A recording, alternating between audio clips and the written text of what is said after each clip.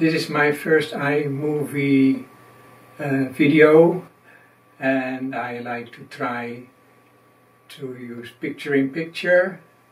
and uh, the experiment is that uh, I play uh, a piece of Karl Jenkins called Hymn from the Songs of Sanctuary and I play the accompaniment on my Hauptwerk organ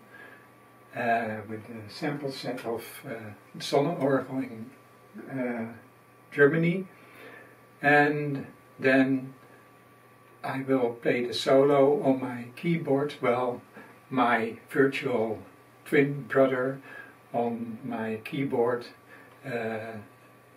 with a flugelhorn and a pan flute. Have fun